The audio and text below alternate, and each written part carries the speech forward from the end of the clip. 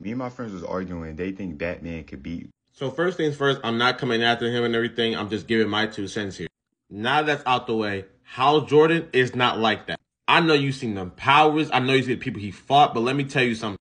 He can only do those things if he has the imagination to pull those off.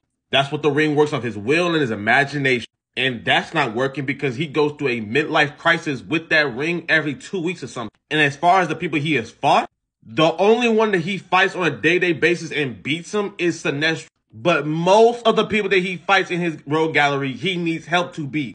Nekron, Anti-Monitor, he's not beating them by himself. One White Lantern wasn't able to beat Nekron. It took a gang of them. Also, Batman has a contingency plan to beat Hal Jordan with a Yellow Lantern ring. And in the same book, Sinestro compliments Batman saying he's a strong Yellow Lantern. So I agree. Batman with prep time is beating Hal Jordan.